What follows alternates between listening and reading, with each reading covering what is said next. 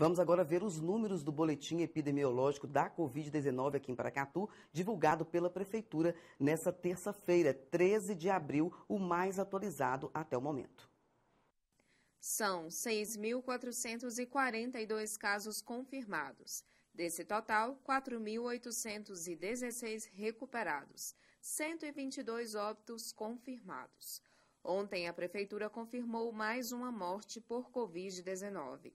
A vítima, um homem de 58 anos de idade que estava internado no Hospital Municipal desde o dia 3 de abril e faleceu na última segunda-feira, dia 12, na UTI Covid. Como comorbidade, tinha hipertensão arterial e insuficiência cardíaca crônica. Paracatu chega, então, a 123 mortes por Covid. Os nossos sentimentos a todas as famílias das vítimas da Covid aqui no município. Ainda existem cinco óbitos que estão sob investigação. A taxa de letalidade da doença está em 1,9%.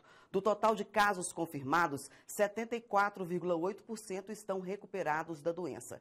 Já 23,3%, ou seja, 1.503 pessoas, ainda se encontram oficialmente infectadas pelo novo coronavírus. Novamente aí o maior número de casos ativos em toda a pandemia. Segundo informação da Prefeitura divulgada nesta terça-feira, já foram aplicadas 11.179 doses da vacina anti-Covid aqui em Paracatu. Paracatu.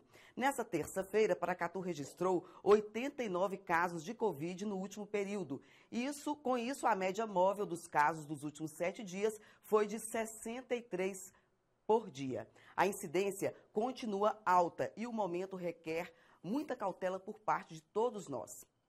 Bem, gente, vamos então, portanto, aí redobrar os nossos cuidados, higienizando as nossas mãos constantemente. Vai sair de casa, não custa nada colocar a máscara e manter o distanciamento social. A gente precisa virar esse jogo contra o novo coronavírus.